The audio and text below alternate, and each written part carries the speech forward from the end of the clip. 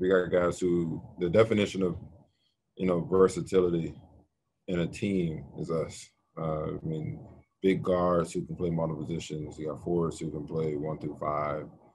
Uh, even our so-called centers uh, are mobile enough to you know play multiple positions. So, um, I mean, that's the that's the league. That's you know what what is going to make us so great is that you know we're able to throw different lineups out there that you can't really uh, prepare for.